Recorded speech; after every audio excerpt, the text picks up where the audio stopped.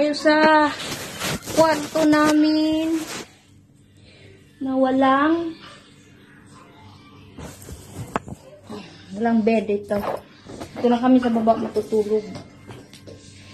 Kasi tatlo yung alaga ko tatabi sa akin matulog. Eh kung magbed dito, eh wala na. Ang sikip-sikip. Kaya, mas minabuti kung dito na sa lapag matulog. Ilinis ko muna. Hindi ako nakapagligpit kanina kasi dami kong niluto. Dami kong ano. Kaya, linis-linis mo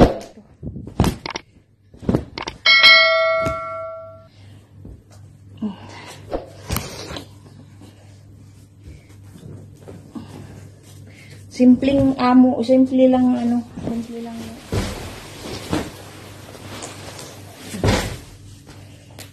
Ito guys. Ito. Laki ito no. Naglalaba ako nito.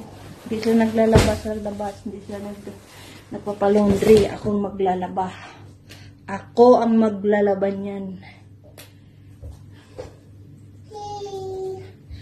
Alam nyo, yung trabaho wala lang sa akin dito. Magpaplansya lang. Hindi sila nagpaplansya. Ayaw nilang plansyahin yung damit nila kasi madali lang daw. Masira. Tutupiin ko lang.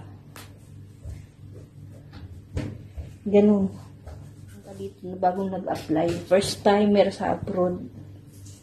Sobrang trabaho guys. Sobrang pagod mo. May stress. Stress yun. Tapos, sobrang pagod mo. Namimiss mo pa yung pamilya mo. Ganun. Hindi makakaya. Hindi makakaya. Habang nagtatrabaho ka, tumutulo yung luha mo. Oh. Alam mo kung ano? Ano guys yung ginagawa? Yung mga OFW na first timer. Yung dito yung mga DH.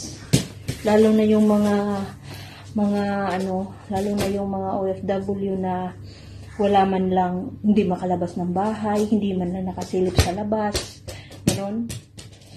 Hindi man lang nakalabas, hindi man lang walang D off, or else, hindi man lang nakalabas talaga, talagang hindi nakalabas, kahit titingin lang sa kalsada. Mayroong ganyan, hindi naka, ano, ang hirap, napakahirap talaga.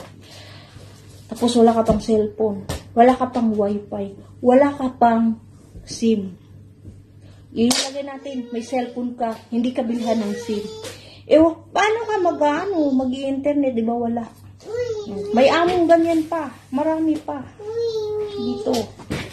Kaya yun, ang hirap. Ang hirap talaga. Tapos,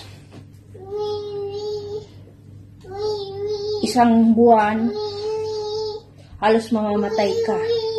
Dalawang buwan hanggang apat na buwan yun, stress na stress ka. Yung, yung namimiss yo yung pamilya mo, namimiss mo yung Pilipinas, ganun, sobrang, sobrang, ano, na-homesick ka talaga. Malampasan mo yun. Malampasan mo. Sobrang payat mo na. Kasi yan na nasan ko eh.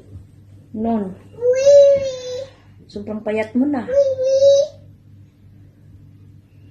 Yung pamilya mo, hindi man lang, hindi man lang mamumusta. Hindi man lang magsabi na, Hoy, kumusta ka?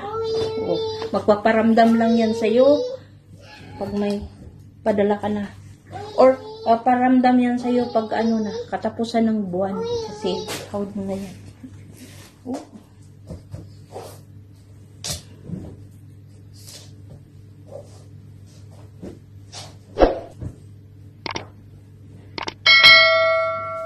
Napakahirap ng buhay. OFW. Hirap na hirap.